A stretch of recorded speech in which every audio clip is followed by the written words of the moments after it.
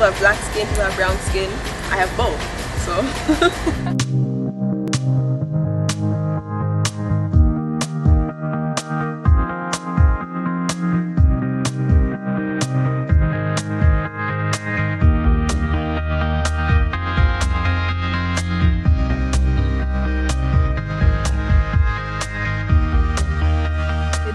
called me all types of mean things cow, zebra. They asked me if they should milk me, and all types of horrible, horrible, mean things that a kid at that age should never have to hear.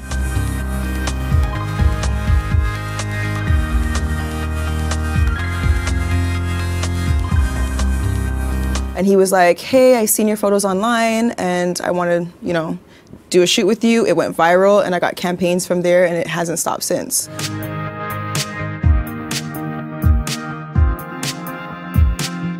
Want to be anyone else. Yeah, I have my flaws, but I embrace them.